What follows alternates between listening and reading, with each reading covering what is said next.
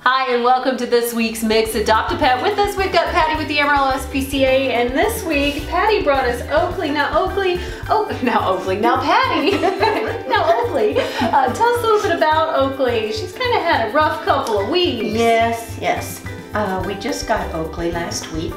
The people who brought Oakley in said um, Oakley had been attacked by another dog, so has a few little places around here on the head.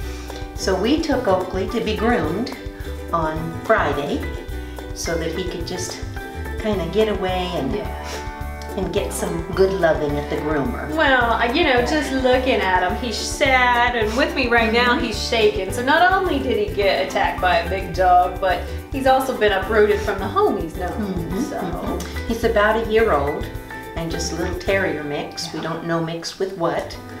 He's schnauzer. very sweet. He's a sweet, he could be mixed with Schnauzer. He's a very sweet little dog, very quiet, but I don't know if that's because he's Yeah. been attacked or, but I think he's gonna be fine.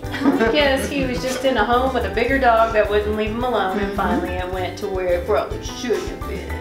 So what we're looking for is a family who'll nurture him, maybe one without dogs, Maybe, he Where might he be can- better without other dogs. where he can have all the attention and, and you know, pop out of his shell and be a fun-loving doggy. Right. Well, uh, if somebody is interested in Oakley and you know giving him a great home, uh, you know what's the cost to adopt? It's a hundred dollars and that will include the spay neuter, it'll include the microchip, the rabies vaccination, and all the parvo distemper shots and all of that.